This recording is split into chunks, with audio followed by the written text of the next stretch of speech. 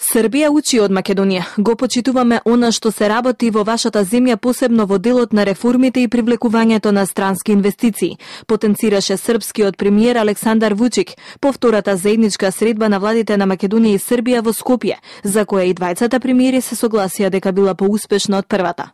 Веома поштуемо она што се ради у Македонија, веома поштуемо приступ. Особено го почитуваме што се случува во Македонија и за зголемување на растот кој што Македонија го прави, но од таа страна ќе кажам дека ние немаме таа можност и особено да говориме дека овие земји се големи, а овие се мали и дека ние учиме и прифатиме прифаќаме од сето она што се случува во Македонија, ние не се срамиме од тоа, туку и сме горди дека сите паметни луѓе учат од сите оние кои што сметаме дека може да научат од некога, ние многу учиме од нашите македонски колеги. Во делот на економијата се разговарало за реализација на проекти од областа на енергетика енергетиката како поврзување преку 400 киловолтниот далновод од Штип, потоа гасна интерконекција од Врање до Куманово, но и железничко поврзување до Грција како и изградбата на коридора 10. Заеднички е заклучокот дека подобро економско поврзување може да се оствари преку реализација на конкретни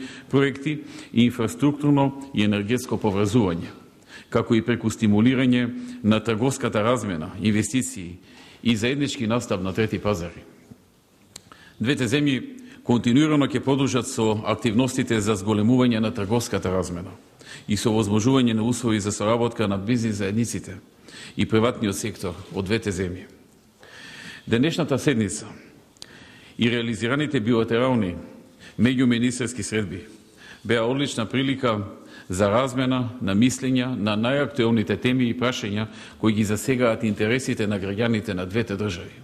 Договорите што ги подпишавме ќе бидат нов економски импулс меѓу двете земји, истакна Груевски. И двајцата премиери се заложија дека одличната соработка ќе продолжи во сите полиња.